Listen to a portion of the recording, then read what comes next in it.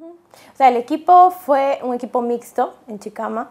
Hubo eh, gente de Lima, pero también gente de Trujillo, ¿no? mayoritariamente de Trujillo, con la colaboración de mucha gente también de los pueblos donde grabamos, ¿no? de Cascas, de Contumazá, de Toledo.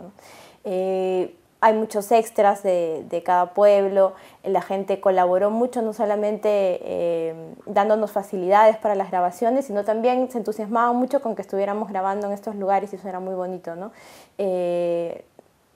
En Toledo tenemos, por ejemplo, la colaboración, la gran colaboración de un colegio, ¿no? es un colegio real en el que filmamos, y los niños que salen son alumnos de Toledo, por ejemplo. ¿no?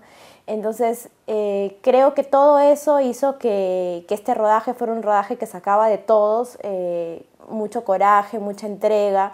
Lo bonito de Chicama fue que vamos a cumplir una promesa que hicimos cuando estábamos ahí, que fue volver con la película hecha. No, no sabemos cómo van a estar ahorita todos los niños que, que grabaron la película más grandes, cambiados, si estarán en el mismo lugar, pero va a ser muy bonito volver con la película y poderla pasar en los tres lugares donde la filmamos, ¿no? Y verla con la gente que aparece en la película. Entonces eso va a ser una experiencia muy rica para nosotros, pero creo que sobre todo para ellos, ¿no? Y gratificante, porque al final les estamos devolviendo lo que hicimos con ellos.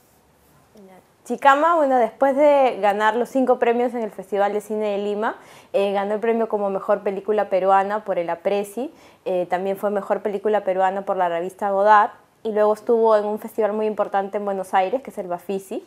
Eh, luego obtuvo un premio especial del jurado en el Festival de Cuenca, estuvo también en Pasto, Colombia.